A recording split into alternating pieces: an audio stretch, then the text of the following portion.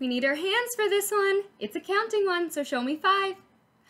There were five in the bed, and the little one said, Roll over, roll over. So they all rolled over, and one fell out.